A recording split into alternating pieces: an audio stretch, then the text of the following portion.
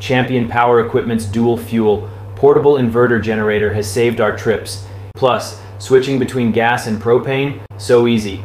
We use propane during the day and gas at night for those cozy lighting and cooking moments. And get this, it pumps out 8500 starting watts blender for smoothies, check coffee maker, check it even powered my friend's air fryer for 14 hours straight without a hitch. Honestly, it's like having a mini power station wherever we go, so quiet that nobody even notices it humming along. If you love the outdoors as much as I do, trust me, you need this swipe up and grab yours now before they're gone. Don't miss out.